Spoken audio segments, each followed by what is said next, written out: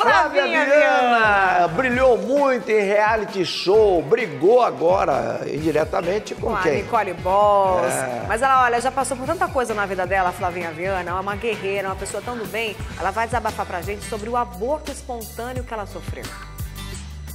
Essa foi a primeira vez que Flávia Viana e Marcelo Iê trabalharam juntos.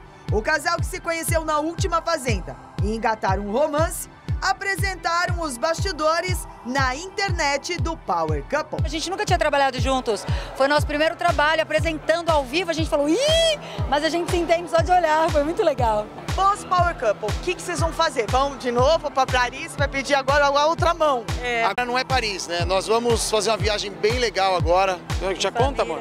Vamos viajar em família, eu quero ver os lugares onde eu morei na Itália quando era criança. E Delícia. A gente vai viajar, a gente vai percorrer toda a Itália de, de carro e fazer um, um caminho muito legal com a minha família, com a, Ai, com a Flavinha. é. Vai ser muito bacana, muito bacana É uma mesmo. viagem da família dele, aí eu já me enfiei. Você faz parte da minha família.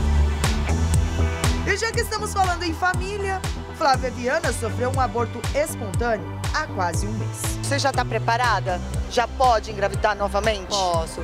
Quando tudo aconteceu, eu eu me dei um, um tempo do luto, assim, eu fiquei quieta, a gente ficou quietinho juntos e eu procurei entender. Eu tenho uma conexão com Deus que é muito, parece que somos um só, assim, é muito direta.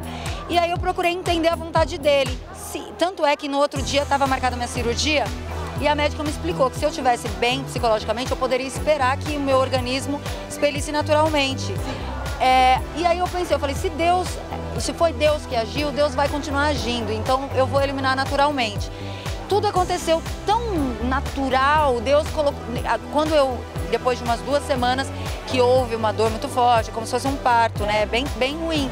Mas aí aconteceu tudo, eu fui seis horas da manhã para o hospital, o médico falou, seu útero tá novo, não tem nenhum resíduo, tá novo. Você, daqui 14 dias ovula, você já pode engravidar. Já Ca- estamos cabe preparando Cabe a você, né, ver o seu melhor momento, conversar com a sua médica, tudo. Então eu falei, cara, Deus é muito lindo, não era o momento. Os meus fãs mandaram muitas mensagens, recebi mensagem de tudo que é lado. Isso é muito comum de acontecer com as mulheres e eu não sabia, porque eu já tenho uma filha, nunca É tinha muito passado comum, todo mundo que a gente conversava já tinha acontecido com a pessoa, com alguém conhecido. Então foi um susto para nós, porque a gente não esperava.